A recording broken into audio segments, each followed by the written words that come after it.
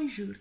Allora, volevo fare um, una breve video recensione che poi breve bisogna vedere perché sì, quando inizio a blaterare di libri poi uff, cristiana, vabbè, è su un libro bomba, cioè l'ho finito stanotte, stanotte ho fatto after a causa di un libro, sti vent'anni mi distruggono, è proprio uno sballo, però oh, mi aveva preso così tanto poi tra l'altro quando decido, oh, basta, sono stanca, vado a dormire, ho gli occhi che mi si chiudono, leggo il libro, boh, colpo di scena assurdo di questo tipo, eh?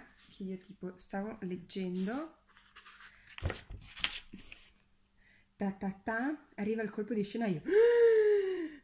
E sono stata tipo così per 30 pagine perché veramente insomma ero arrivata a un punto che non mi aspettavo assolutamente. Comunque, inutile parlare se non dico che libro si tratta. Si tratta di Le bugie degli altri di Kimberly McGrath, mai sentita prima d'ora e la cosa mi dispiace perché è veramente super.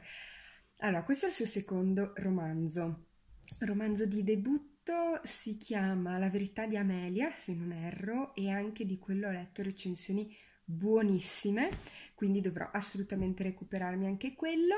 E questo quindi è il suo romanzo, non ne ha scritti altri da quel che ho capito, e lo definirei un thriller giallo, suspense, insomma c'è questo caso da risolvere. E... Ma il bello è che tipo quando l'ho ricevuto in regalo da parte del mio amoroso, boh, visto il pacchetto ho detto questo è libro, che bello, quest'uomo sì che mi capisce.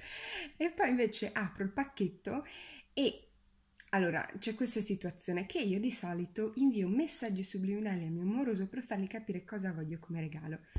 Subliminalmente, se si può dire, gli avevo inviato la mia wishlist di Amazon con tipo tutti i libri che vorrei leggere nella mia vita. E dico, prendi un libro di quello, no? No. io apro il pacchetto, vedo questo libro che ma chi l'ha mai sentito?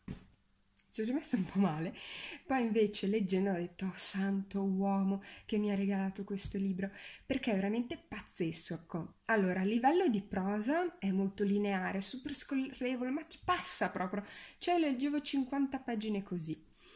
Quello che mi piace tantissimo è la struttura di questo libro.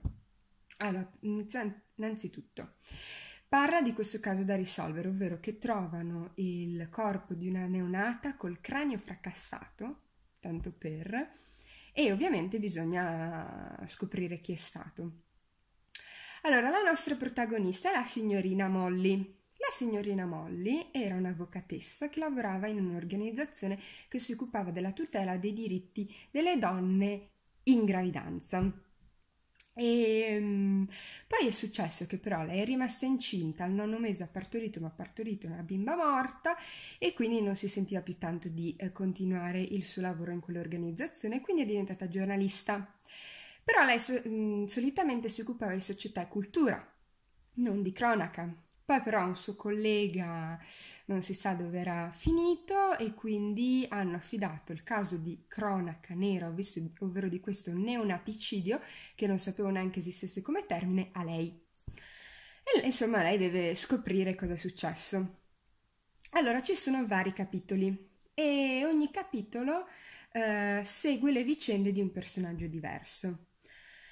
Um, allora, i capitoli dedicati a questa signorina Molly eh, sono scritti in prima persona singolare, quindi a lei in sostanza la protagonista principale, quella attorno alla quale tutto eh, gira. E poi ce ne sono altri, ci sono altri, altri personaggi, e però i cap- capitoli dedicati a loro sono scritti in terza persona singolare, quindi uno sguardo più esterno proprio perché è Molly quella che ci interessa poi veramente. Ma il fatto è che questi capitoli che raccontano le varie storie si incastrano in una maniera divina.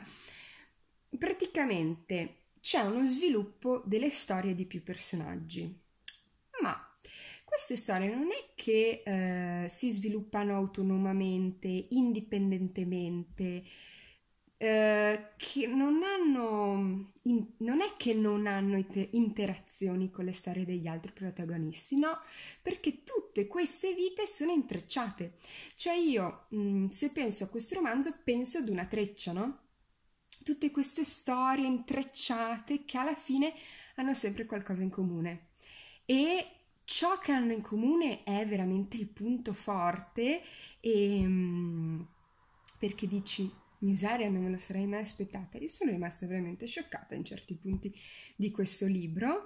Quindi volevo io adesso chiudo perché so questo telefono quanto mi regge, poi mi si sta addormentando il braccio perché ovviamente io mica penso ad un appoggio per il cellulare, beh no, e ehm, quindi veramente ve lo consiglio tantissimo, poi mi sa un sacco da lettura estiva perché l'estate me la figuro come stagione per i thriller, eh, i gialli, comunque secondo me d'estate bisogna risolvere dei casi e quindi ve lo consiglio tantissimo, proprio come lettura sotto l'embrone ci sta, io vi immagino in spiaggia spapranzati eh, con questo libro e che guardate malissimo la gente perché siete scioccati. E um, eh, quindi sì, non mi ricordo cos'altro volevo dire è lettura consigliatissima, mi procurerò sicuramente anche il primo libro di questa scrittrice, Fatemi sapere se l'avete letto, fatemi sapere se lo leggerete e se lo inserirete nella wishlist anche voi e alla prossima, ciao!